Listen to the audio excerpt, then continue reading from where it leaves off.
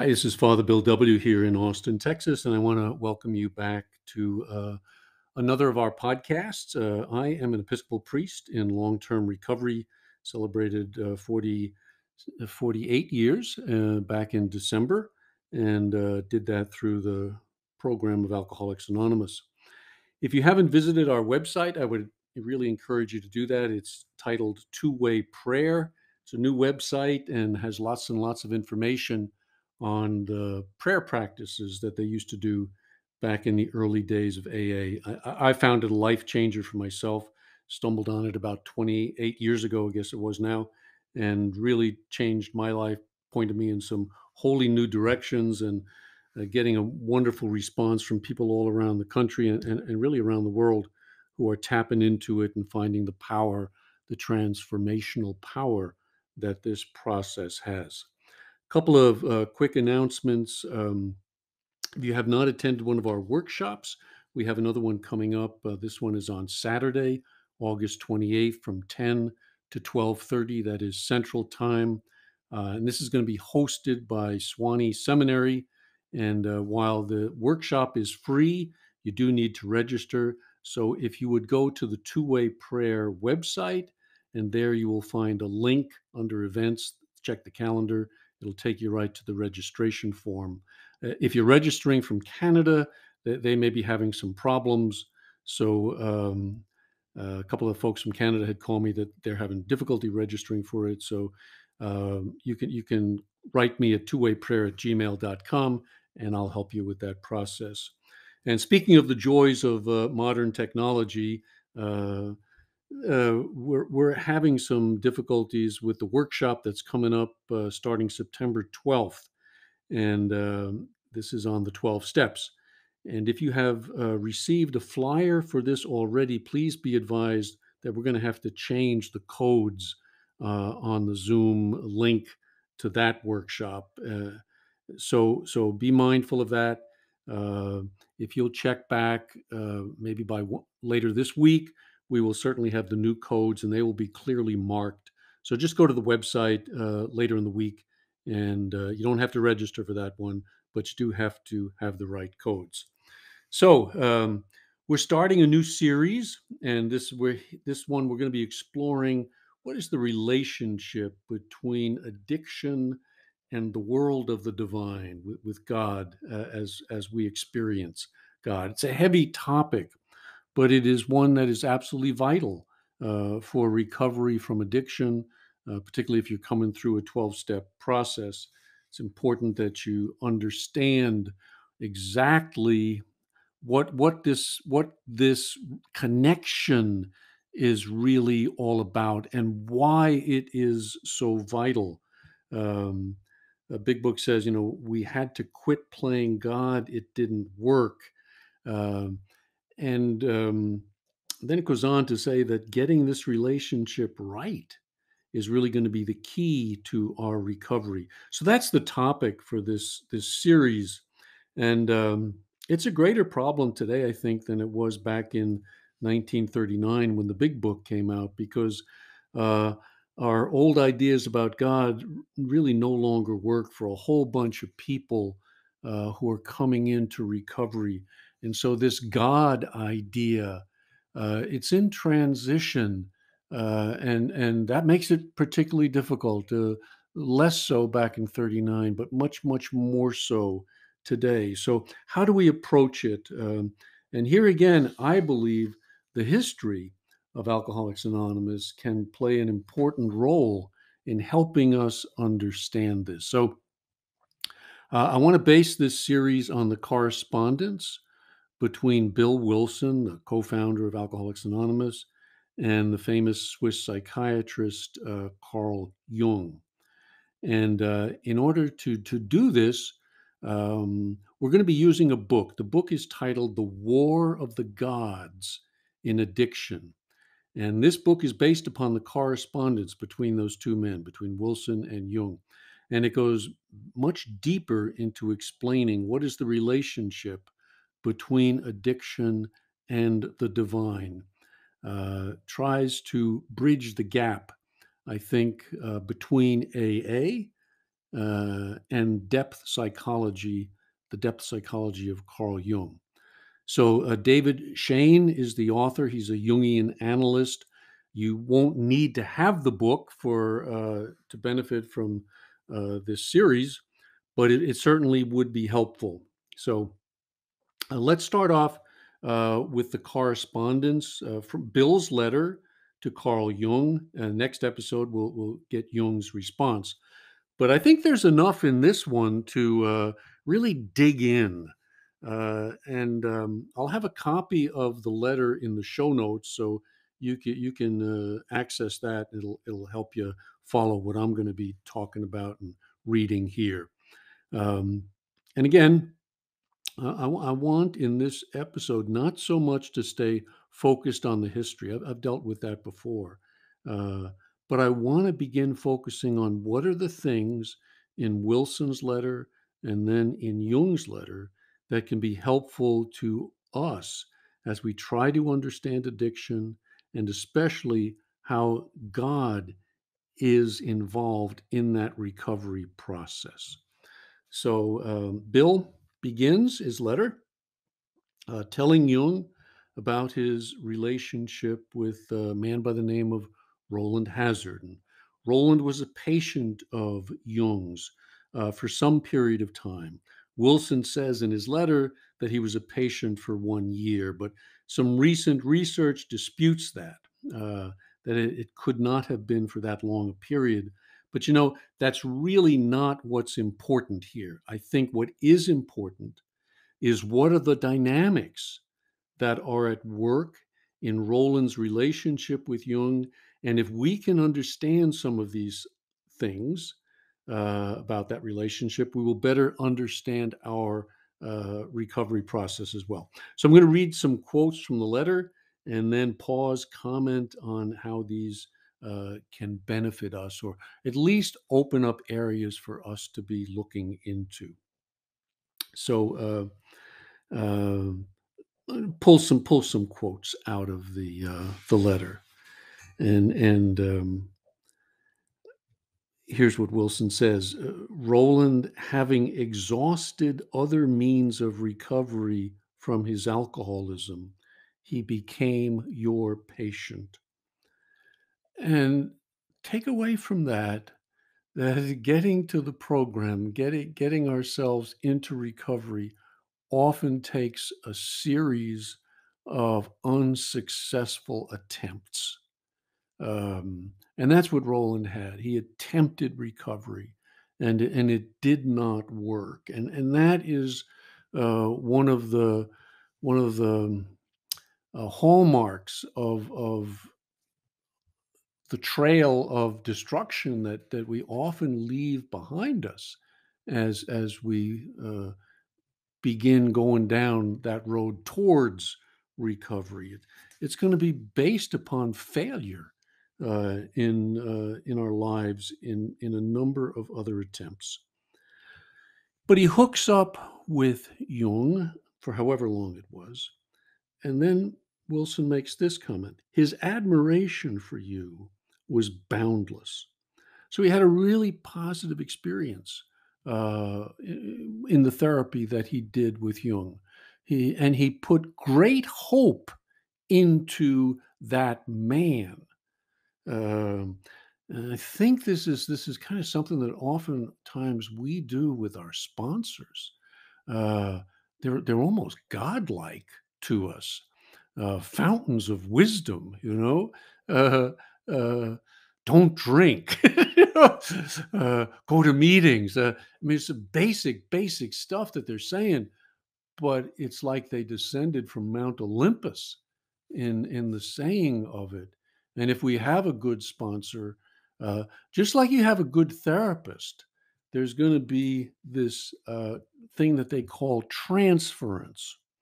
And and what transference is about is is is putting on to the therapist or putting on to the sponsor or putting on to some individual capabilities really beyond what that individual has. And it's a necessary part of the process. it's a necessary part of how we begin. Because if we don't make that initial transference, and it's a parental kind of thing, it's like they become mommy or daddy to us, you know, until what? Until we can become mommy and daddy to ourselves. But but uh, it has to it has to happen. So his admiration for Jung was boundless. But then what happened? Well, he relapses, uh, and returning to Jung, they have a conversation that Wilson says becomes the real groundwork for our understanding of recovery. Um, and, and he describes that in his letter. Here's the quote First of all, you, Jung, told him of his hopelessness so far as any further uh, so far as any further medical or psychiatric treatment might be concerned. I had a therapist who, who said to me, Bill, you are clinically hopeless. And, and I think he was following in this tradition to create in the client, to create in the patient, to create in the newcomer um, an awareness of the depth of hopelessness. So um, I really encourage people to uh, go back to your big book and, and other AA literature from from the beginning times and and and look at how many times that word hopeless comes up. Uh, just just jotted down a few here uh, from Bill's story. The remorse, horror, and hopelessness of the next morning are unforgettable. Certainly, I was interested. I had to be, for I was hopeless. While I lay in the hospital, the thought came there were thousands of hopeless alcoholics who might be glad to have what had been freely given to me.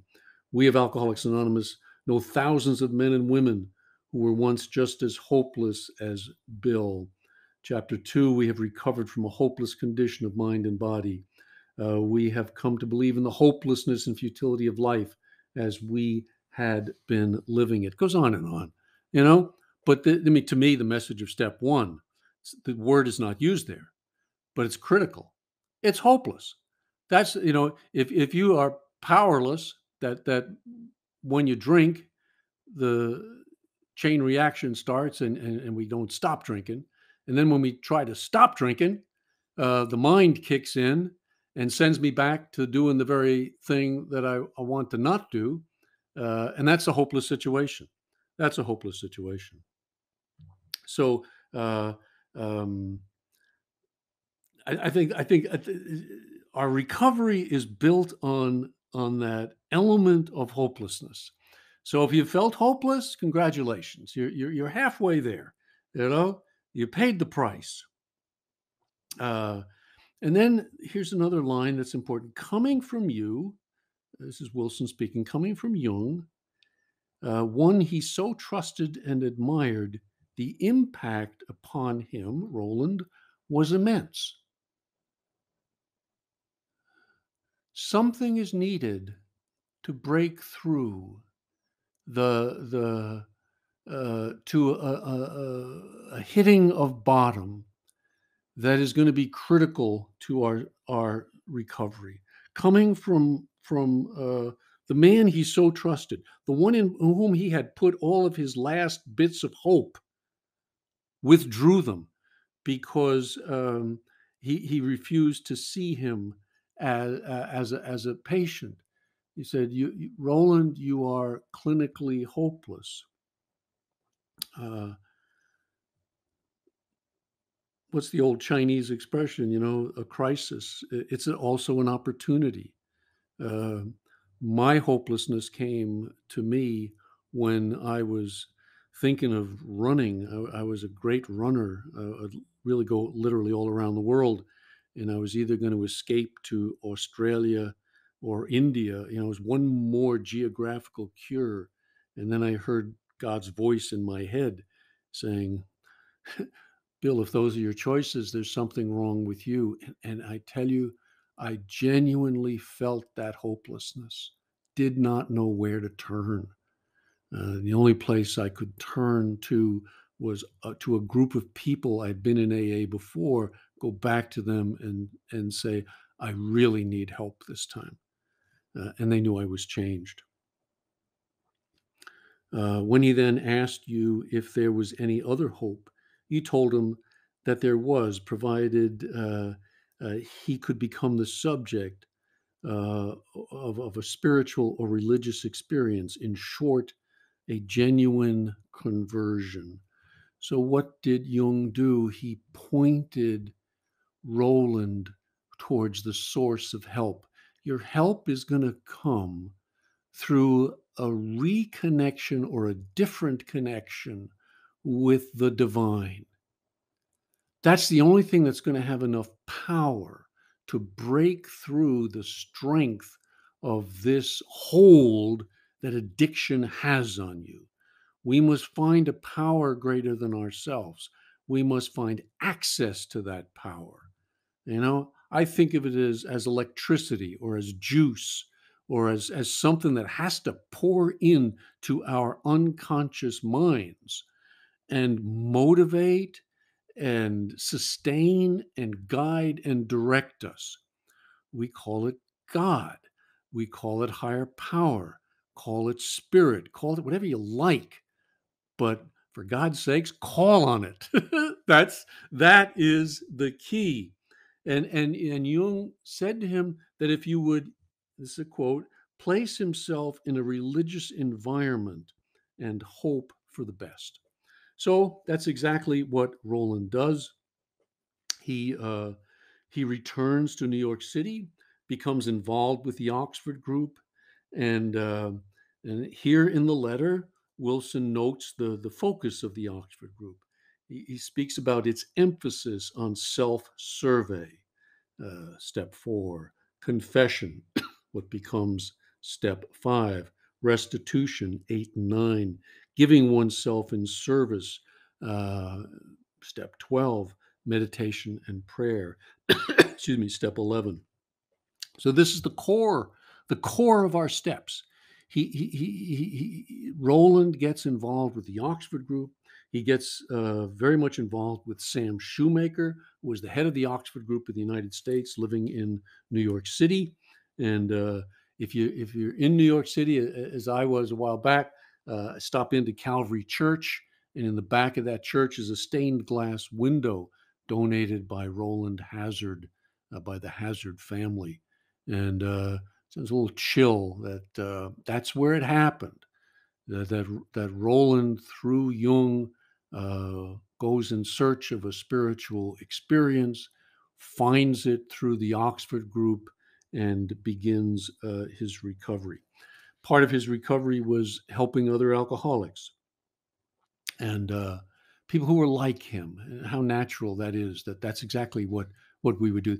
They were they were to help people. That was part of the Oxford Group program. Go help others. Go bring about a change in others. Well, the change that we know best is somebody who's stuck in addiction and can't get out. So how do we bring hope to those who are experiencing hopelessness. Um, and this is the exact message that uh, Ebby carries because Rowland works with Ebby, uh, gets him on the road to recovery. And then Ebby makes his famous call on Bill Wilson. And the most beautiful description of, of that, I'm, I'm so sad that it didn't make it into the big book, but it was uh, where Wilson describes it as if he had been chained to the back wall of a cave. And this is the way he's describing his addiction. He's chained to the back wall, can't break free, sees his wife, sees his friends at the mouth of the cave, sees Dr. Silkworth at the mouth of the cave, saying, Come out and, and, and he can't break free. I hope you can relate to that because that's really where, where you're getting down to the depths.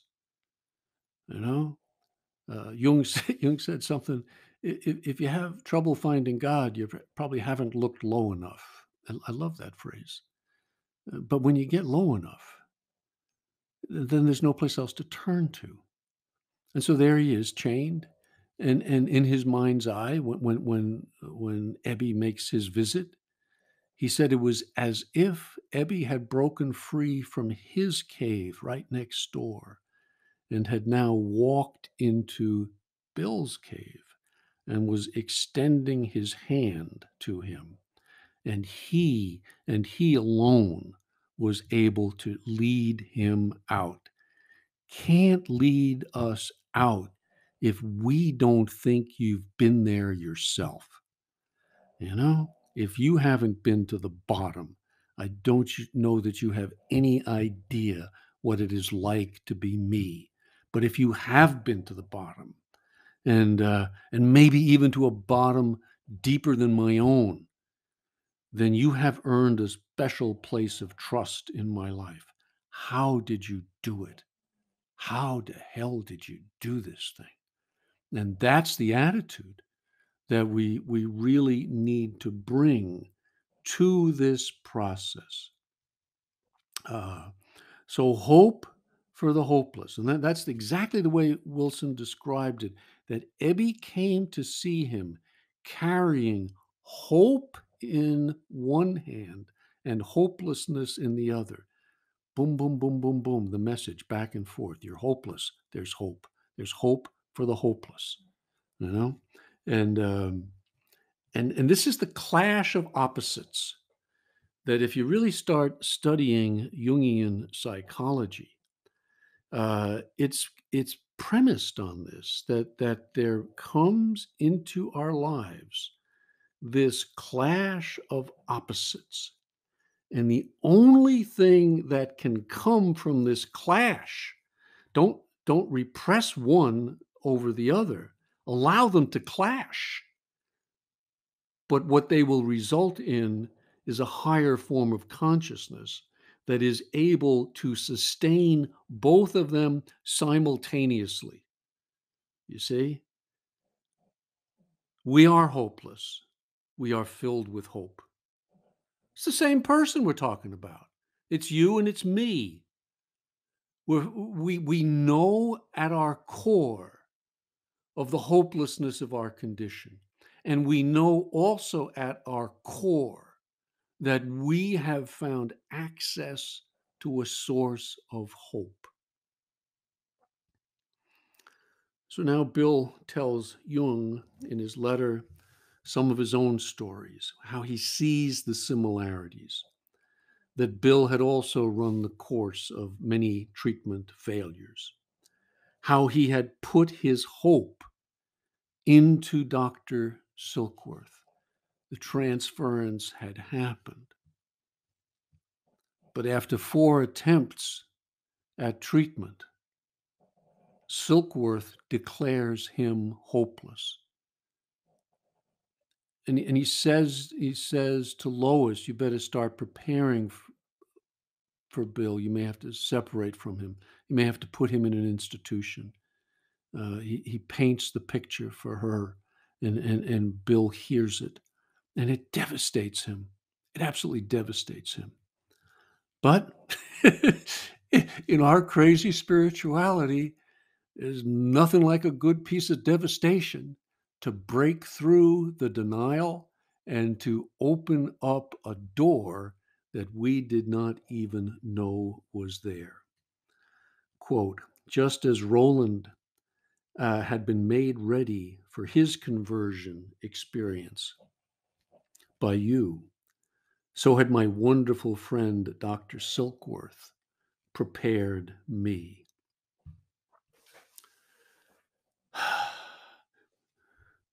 He gets terribly depressed in the in the hospital room. He has his famous white light experience, and we, we've talked about that before. I won't repeat it. But Bill calls out from the depths, Oh God, if there is a God, help me. Not knowing, not believing, but knowing there was no other place to turn. Oh God, if there is a God. Uh, and, and boom comes the white light. Um, boom comes the psychic change, the conversion experience. Uh, an experience of the presence of God in that room, a breakthrough, a breakdown of his ego, no longer able to sustain him. Uh, he, he knows that. He knows that at the deepest level of self. See, and that's where that's where this change is going to happen. You know, Jung Jung calls his name for God, in effect, is self with a capital S. It's like there's little self and there's great big self. And the little self with whom I had identified totally, called my ego, uh, is now taken to a new level of consciousness. And, and, and, and it's what Wilson describes as a mountaintop experience. Uh, and a wind, not of air, but of spirit, is blowing all around me. Uh, he has an encounter with the divine. And, and these are more frequent than we think. Uh, they are more frequent than, than oftentimes we, we think. Um, but they are moments of breakthrough, moments of transformation. He didn't know who or what that was, but he knew it wasn't him. When I heard that voice that said to me, Bill, you are 27. If those are your two choices, going either to India or to Australia, there's something wrong with you. I didn't know who that was, but I knew this. That wasn't the me that had been thinking all the time before. It was a, a new me, a deeper part of me, a part of me that I really wasn't very connected with. And it, and it wasn't really until I started to understand two way prayer that uh, I made conscious contact uh, with this power and began to um, communicate with this power and allow this power to speak to me. Uh, and that that was the source of the transformational process uh, for for Rowland, for Bill, and for so many uh, who who have made our way into recovery. That we are in touch with something beyond the little self. Don't know how to name it. Don't know what to call it. That journey continues, and uh, and that's where we're going to pick up uh, next time, as we we try to look in in hopefully some greater depth at uh, what Jung uh, says in his letter back to Bill, because he answers it very quickly, and, and, and he's almost on his deathbed when he does it. So it's really, really important information. So we'll pick up on that next time, uh, kind of get into that in some depth, and then we will uh, begin looking at um, at the book War of the Gods and Addiction and look at some of the deeper parts of this transformational process from a Jungian perspective. And I believe that's a deeply, deeply spiritual perspective as well. So um, I hope uh, some of this information has been helpful to you. If it has, encourage you to uh, pass it on to a friend, uh, encourage them to access the, the podcast and uh, go to the website and maybe even make it to one of the workshops coming up. So um, Till next time, uh, God bless and do keep coming back.